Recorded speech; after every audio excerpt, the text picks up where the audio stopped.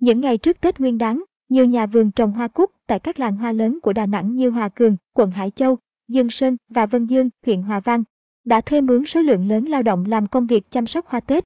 Năm nay, nghề ngắt lá, bẻ nụ hoa không chỉ thu hút sinh viên, mà còn trở thành công việc thời vụ được các công nhân thất nghiệp săn đón. Công việc thời vụ những ngày cuối năm này giúp họ kiếm được tiền triệu, có thêm chi phí để về quê ăn Tết. Theo các chủ vườn, mục đích của việc ngắt những nụ hoa cúc ở các nách lá để cây tập trung dinh dưỡng nuôi các nụ chính. Ngắt nụ kịp thời, hoa sẽ nở đồng, đều hơn, mật độ phân nhánh cũng tốt hơn, giá trị thương phẩm của cành hoa cao hơn. Ngoài ra, các nhân công sẽ tỉa cành, cắt bỏ các thanh tre cố định hoa và trao chuốt lại các chậu hoa để chuẩn bị đưa ra thị trường. Ông Nguyễn Hữu Ký, chủ vườn hoa cúc tại làng hoa Dương Sơn cho biết, năm nay ông trồng khoảng 2.000 cây nên cần số lượng lớn người làm sát Tết để kịp mang hoa ra chợ bán và cung cấp cho thị trường. Cũng giống như mọi năm, từ khi bắt đầu hái nụ các đợt, vườn tuyển gần cả trăm người làm bán thời gian từ khoảng đầu tháng 12 âm đến khoảng 25 Tết mới chấm dứt. Năm nay, ngoài các bạn sinh viên, thì ông Ký còn ưu tiên cho những công nhân vừa bị thất nghiệp, tạo điều kiện cho họ có tiền chi tiêu Tết. Ngoài ra, ông Ký cũng có những khoản tiền thưởng cho các nhân công chăm chỉ và làm tốt. Phần lớn các sinh viên và công nhân thất nghiệp đến đây xin gắt lá, hái nụ hoa, đều là người ngoại tỉnh, rất chăm chỉ và chịu khó, làm việc lại nhanh nhẹn.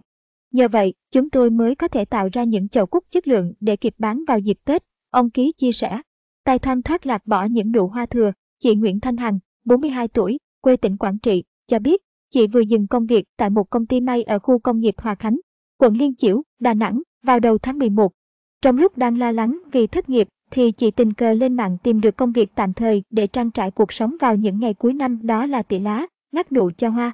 Tết đến có nhiều thứ phải lo mà công ty đóng cửa, cũng may có công việc ngắt nụ hoa này, chứ không em chẳng biết xoay sở ra sao, nhất là ra Tết phải đóng học phí cho con và tiền trọ nữa.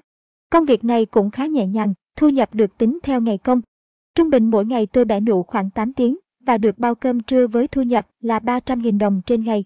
Ai chịu khó hơn thì xong khu này, chạy xô sang khu khác làm tiếp, hoặc chăm chỉ làm thêm ca tối, thì có thể kiếm được 450.000 đồng trên ngày.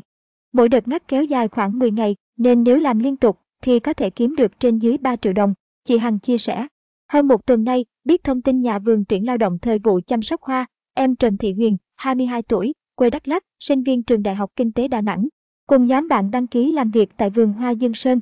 Công việc này không áp lực hay nặng nhọc gì cả, quan trọng nhất là phải cẩn thận để tránh gãy bút chính và chịu khó làm việc giữa trời. Làm thời vụ như thế này giúp mình có thêm phần kinh phí mua đồ Tết, tiền xe về quê đỡ phải xin ba mẹ, Thùy Tiên hào hứng chia sẻ.